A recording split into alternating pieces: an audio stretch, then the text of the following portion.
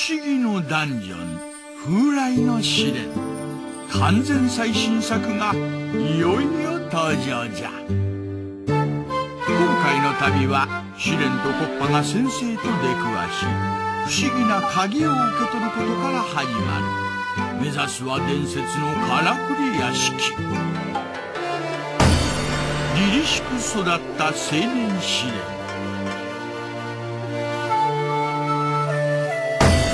剣術の師匠先生。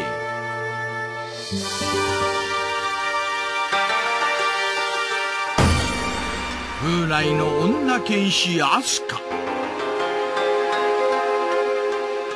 だがそこには恐るべき罠が待ち受けておった。眠り姫のおるからくり屋敷には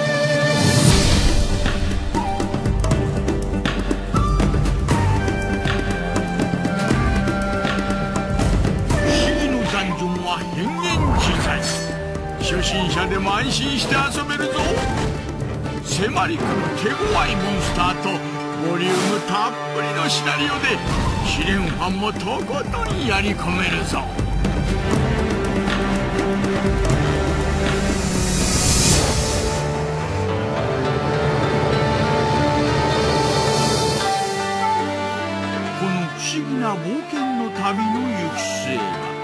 そして謎めくからくり屋敷の眠り姫とは果たしてシリーズ最新作は試練の魅力がたっぷり詰まった最高傑作じゃ。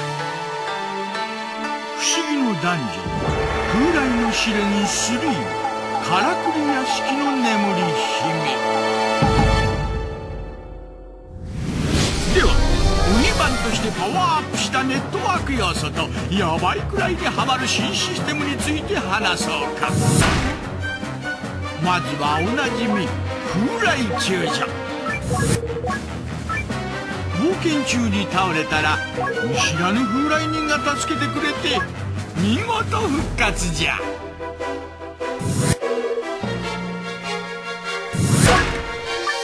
続いてサーバーの次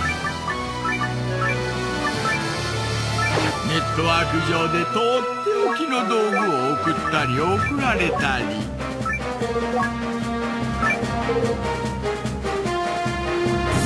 他の風来人たちとお宝を交換じゃ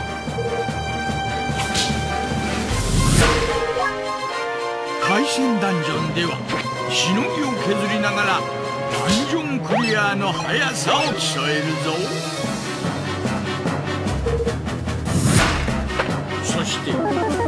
成長システム。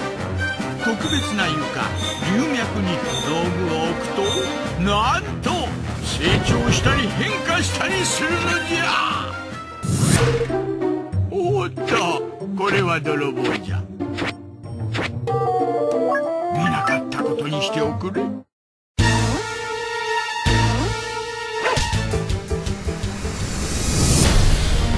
思議のダンジョン風来の試練3からくり屋敷の眠り姫。